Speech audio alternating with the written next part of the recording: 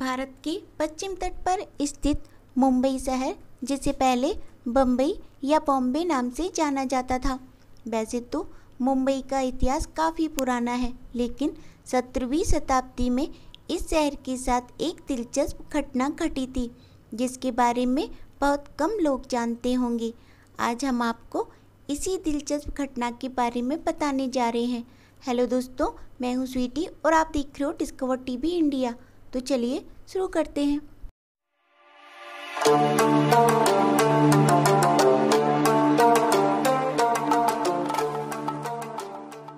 पंद्रहवीं शताब्दी में जब पुर्तगालियों को गोवा में कब्जा था, तब उन्होंने पंद्रह ईस्वी में मुंबई द्वीप समूह पर हमला किया।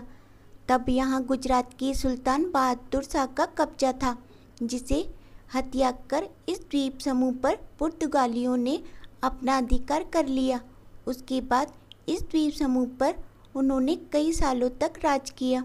सत्रहवीं शताब्दी की शुरुआत में जब अंग्रेज़ पहली बार भारत आए तो उनकी नज़र भी मुंबई द्वीप समूह पर पड़ी, क्योंकि उस समय तक यह द्वीप समूह एक महत्वपूर्ण व्यावसायिक केंद्र बन चुका था।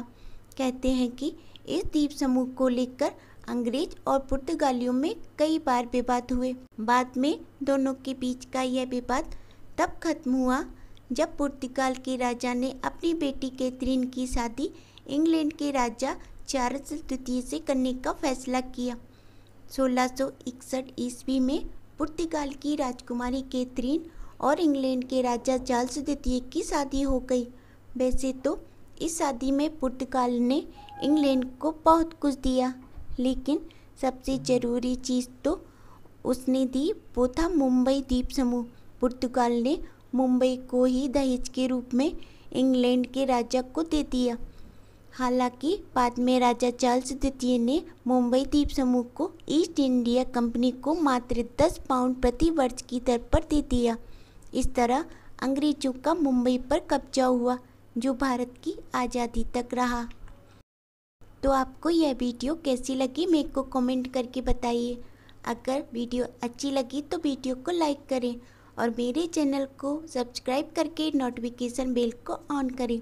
तो मिलते हैं आपसे अपनी नई वीडियो में। तब तक खुश रहिए, अपना ख्याल रखिए, अपनी स्वीटी को इजाज़त दीजिए। बाय।